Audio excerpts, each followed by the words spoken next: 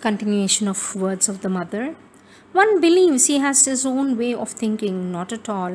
It depends totally upon the people one speaks with, or the books he has read, or on the mood he is in. Depends on whether you have good or bad digestion. It depends on whether you are shut up in a room without proper ventilation, or whether you are in the open air. It depends whether you have a beautiful landscape before you. It depends on whether there's a sunshine or a rain. You are not aware of aware of it at all, but you think all kinds of things completely different according to a heap of things which have nothing to do with you. And for this to have a coordinated, coherent, logical thought, a long, thorough work is necessary. And then the best of business is that when you have succeeded in making a beautiful, well formed, very strong, very powerful mental construction, the first thing you must be told is you must break this so that you may can unite with the divine. But as long as you haven't made it, you cannot unite with the divine because you have nothing to give it to the divine except a mass of things which are not yourself. One must first exist in order to be able to give oneself. I am repeating what I've said again. One must first exist in order to be able to give oneself. Truly, in the present state of the world, the only thing one can give the divine is one's body. But that's what one doesn't give him. Yes, you can once try to consecrate one's work, but still there are so many elements which are again not true. You want to merge your body in the divine? Huh? Just try. How are you going to do this? You can merge your mind, you can merge your vital, you can fuse all your emotions, all your aspirations, fuse all of that. But your body, how are you going to do that? You're not going to melt it in a boiling point and then mother laughs. And yet, it is the only thing about which you can say with certitude it is and give a name to it, and yet your name is a convention. But still, you are in a habit of calling yourself by a certain name. This is I. You look at yourself in a mirror, and although what uh, you were 20 years ago is very different from what you are now, it is very unrecognizable. Still, something makes you say all the same, all the same, all the time. Yes, it's this me. This is I. Yes, I am so and so. Peter, Louis, Jack, Andre, whoever it may be. Again, a silence.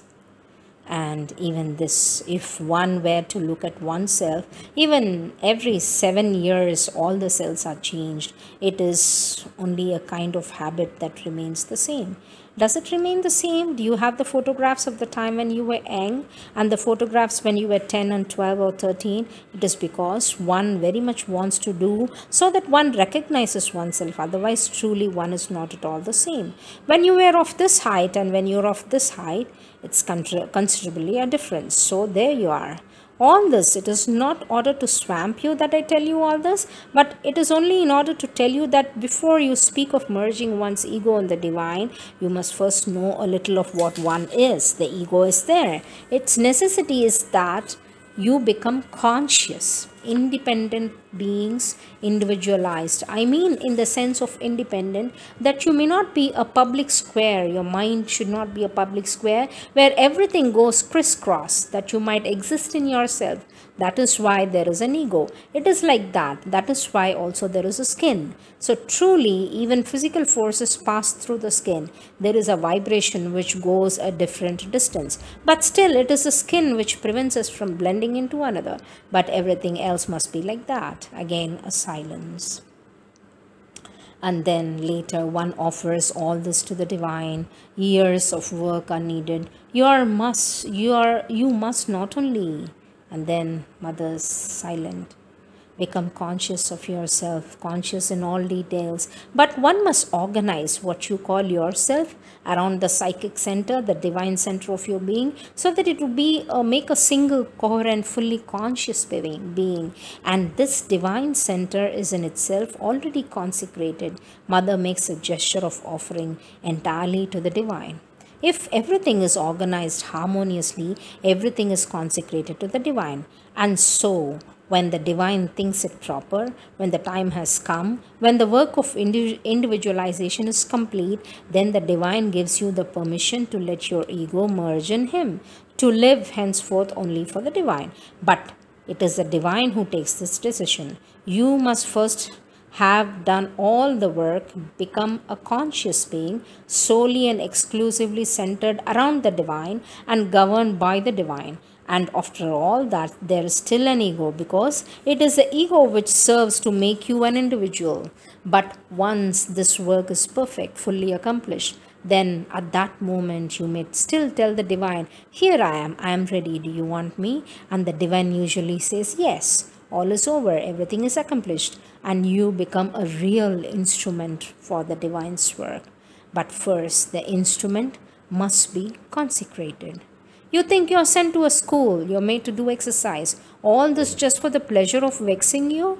Oh no, it is because it's indispensable for you to have a frame in which you can learn how to know yourself. If you did your work of individualization of total formation by yourself, all alone in a corner, nothing at all would be asked of you.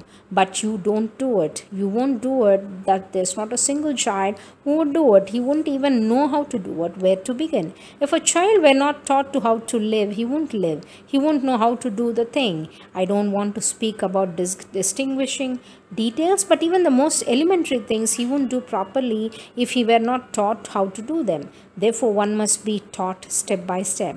That is to say, if everyone had to go through the whole experience needed for the formation of an individuality, he would be long dead before having begun to live. This is the advantage of those who have accumulated through centuries, who have had the experience and tell you, well, if you want to go quickly to know in a few years what has been learned through centuries, read this or do this read learn study in the material world and you will be able to taught or you will be taught to do this in this way and that way and this again and mother gestures once you know a little you find your own method if you are a, great genius but first you must first stand on your own feet know how to walk it is very difficult to learn it all alone it is like that for everyone. One must form oneself. Therefore, one needs to be educated. There we are to a child. Do you have anything? Is there anything someone wants to ask anything? No? All right, we will stop it here.